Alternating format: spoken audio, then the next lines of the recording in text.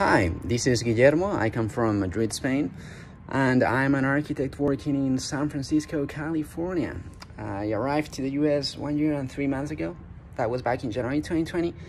And Architect US um, got me the J1 visa. So they've been playing an important role from the beginning.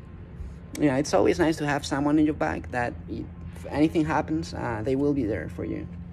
So that's nice. Uh, back in September, I switched jobs, so I had to move from Los Angeles to San Francisco. And when you switch jobs, you gotta change the visa status.